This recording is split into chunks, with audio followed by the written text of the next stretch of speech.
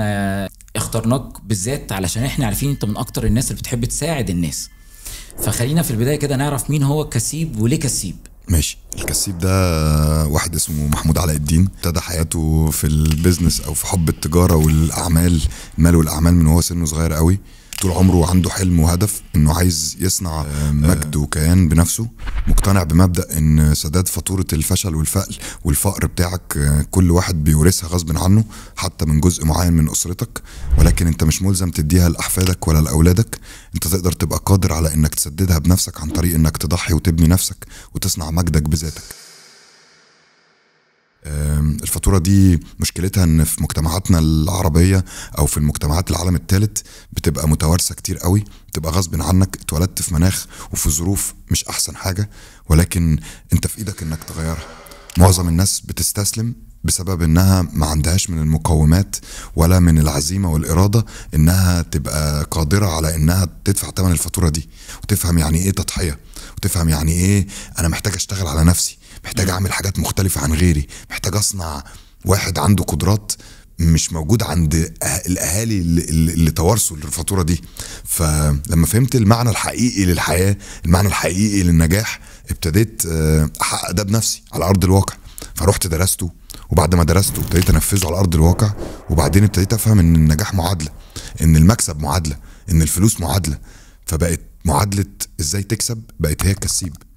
فمنها بقيت عايز أفهم الناس إزاي تبقى كسيب. كسيب في أي حاجة. مش شرط إن أنت تعمل مشروعك على فكرة. كسيب في إن أنت إزاي تبقى إنسان ناجح في حياتك الشخصية. كسيب في إنك ناجح في علاقاتك مع الناس. مش شرط كسيب علشان تكسب فلوس. لا مش شرط خالص. لأن المكسب على فكرة مكسب وقت مكسب حرية مكسب علاقات مكسب أموال مكسب تحقيق ذات مكسب استقرار وراحة بال. الكسيب هو مفهوم شامل. إنك إزاي تبقى محقق مكاسب في حياتك. حتى بتلاقي في الحروب بيقول لك إيه حققت القوات الكذا مكاسب في مرحلتها الأولى. دايما المكاسب بتعبر عن أشياء مربوطة بالأهداف اللي أنت حاططها. فلو هدف في المرحلة دي في ناس كتير بتبقى خلاص عملت الفلوس بس عايزة تكسب في حاجات تانية في الحياة لأنها مش بالنسبة لها دلوقتي المكسب بقى في الفلوس. فالمكسب ممكن يبقى في أشياء عدة في الحياة. من هنا جت الفكرة عشان كده ابتديت أفكر في الموضوع إن أنا إزاي أوصل رسالتي بقى دي للناس. وحاول بعد ما بتوصل وبتنجح ناس كتير بتبقى بتبقى نوع من أنواع الأنانية تجاه نفسها. مفيش كتير بيبقى بيفكر إزاي عايز يدي لغيره.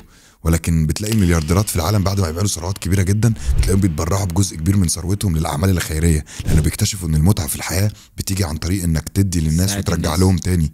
فبترجع لهم علم بترجع لهم طريقة للنجاح بترجع لهم فلوس بترجع لهم فاليو أو قيمة. في الآخر كل ما اديت للناس أكتر كل ما بقيت كسيب أكتر.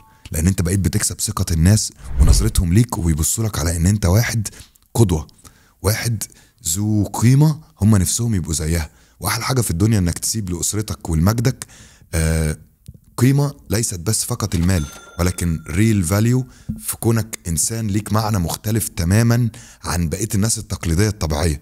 ف يعني هو ده الفكرة بكل اختصار.